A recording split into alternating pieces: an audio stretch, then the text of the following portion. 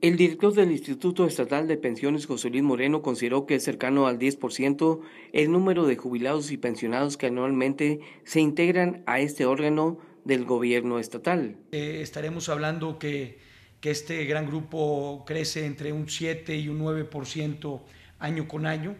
Eh, es un crecimiento natural que se da en todo el mundo, en los, uh, en los grupos, en los uh, fondos de pensiones, eh, en, todo, en todos los países y bueno, pues eh, también lamentablemente hay algunas bajas, eh, pérdidas humanas, pero bueno, pues son, son números que, solamente al final del ejercicio podemos tener con certeza por, por su propia naturaleza.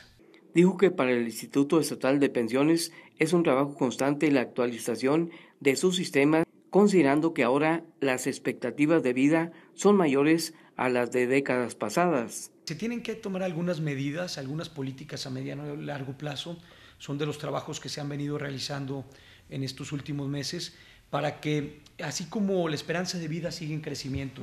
que es finalmente la que te regula para este tipo de, esquemas financieros, que es eh, cuando se creó este fondo por allá de los 70 eh, eh, había una esperanza de vida de 56, 58 años. Afortunadamente, gracias a las grandes tecnologías, al mejor cuidado eh, de, la salud, eh, de las personas, la propia alimentación. Esto ha ayudado a que conforme pasen los años, ahora la esperanza de vida en nuestro país ande alrededor de 78, 79 años. Con imágenes de Carlos Hernández, RCG Noticias, Carlos Castillo Borja.